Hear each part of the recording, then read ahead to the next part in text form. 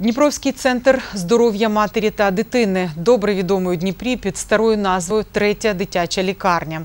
Цього року закладу виповниться 110 років. Одну із перших дитячих лікарень на сході України звели за гроші родини меценатів Алдесєєнко.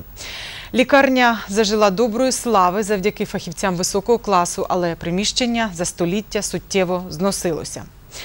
Педіатричний та хірургічний корпуси стали буквально аварійними. Із десяток років їх майже не використовували. Тепер лікарня отримує нове життя. У квітні 2016 року за рахунок обласного бюджету і фонду регіонального розвитку почали повністю реконструювати педіатричний та хірургічний корпуси колишньої третьої дитячої лікарні. Головний лікар зізнається, приміщення перестали відповідати нормам ще 10 років тому. Еще э, 10 лет назад, когда нас посещали гости из Киева, говорили, что те условия, в которых находятся новорожденные дети, это напоминает э, неонатальный гулаг. Условия пребывания детей и их родителей нужно было категорически менять. Педиатрический корпус будет полностью э, внутри реконструирован, там будут палаты совместного пребывания. В частности, в хирургическом э, корпусе, э, в подвальном помещении будет реабилитационный центр с бассейном для малышей разного возраста, с тренировочным оборудованием.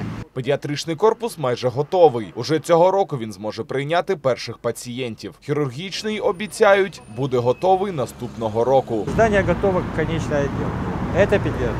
По хирургии, то, что вы видите опалубка, это уже последний этаж полный э, здания. Следующее уже будет только перекрытие тех этажей.